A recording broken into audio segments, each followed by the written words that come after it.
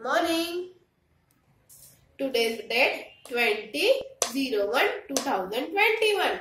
Today's day Wednesday.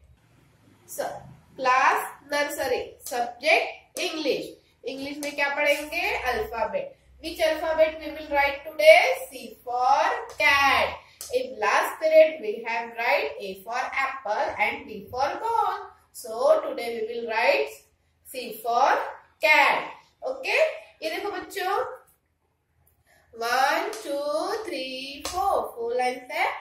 But three line में ही आपको राइटिंग करना है। सी फॉर कैट की ओके तो चलो सी फॉर कैट राइटिंग करते हैं। ये देखो बच्चों। One two three three dots है तो कैसे बनाते हैं ये? ऐसा कर्व बनाते हैं। क्या बन गया ये? सी फॉर कैट चलो फिर से बनाते हैं।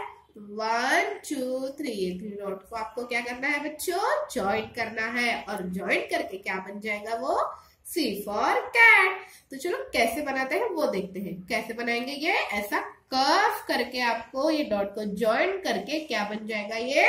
सी फॉर कैट तो चलो फिर से बनाते हैं। ये देखो, ऐसा कर्व करना है आपको। क्या बन गया ये? सी फॉर कैट ऐसे ही आपको प्रॉपर राइटिंग करके आपको सी फॉर कैट आपको बनाना है ओके आपके पास जो इंग्लिश का वर्कबुक है ना, उसमें आपको राइटिंग करना है सी फॉर कैट ये देखो बच्चों राइटिंग बुक है ना आपके पास इंग्लिश की, इसमें ही आपको सी फॉर कैट राइटिंग करना है ओके चलो पेज टर्न करो। पेज नंबर सिक्स निकालना है ओके ये देखो बच्चों सी फॉर कैट ये पिक्चर दिख रहा है आपको सी फॉर से क्या क्या बनता है? सी फॉर कार होता है सी फॉर केक होता है सी फॉर कॉक भी होता है okay and C for cat भी होता है. There are so many things of C okay तो ये देखो सी फॉर क्या है बच्चों ये?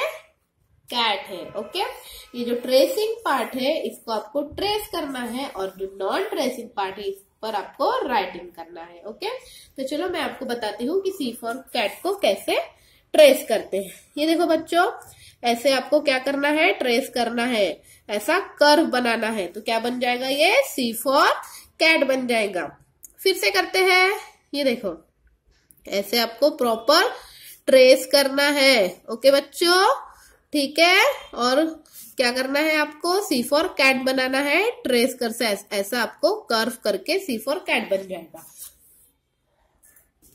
नेक्स्ट पेज पे देखो बच्चों। दिख रहा है आपको, ये जो ट्रेसिंग पार्ट है, इसको आपको ट्रेस करना है और नॉन ट्रेसिंग पार्ट पे आपको राइटिंग करना है प्रॉपर ये देखो बच्चों, ये आपके पास फोर लाइन की होमवर्क कॉपी है ना इंग्लिश की, उसी में ही आपको सेटिंग करना है ओके देखो एच डब्ल्यू डालना है सी फॉर कैट डेट डालना है और थ्री लाइन्स आपको ड्रॉ करना है और फोर टाइम्स आपको क्या करना है बच्चों? सी फॉर कैट राइटिंग करना है ओके जैसा मैंने सेटिंग की हूँ, वैसे ही आपको आपके कॉपी में सेटिंग करना है और प्रॉपर राइटिंग राइटिंग करना है ओके और जो सी डब्ल्यू है क्लास वर्क उसको आपको आपके पास जो इंग्लिश का वर्क बुक है, उसमें आपको राइटिंग करना है और एच डब्ल्यू आपको होमवर्क कॉपी में राइटिंग करना है। Thank you bye bye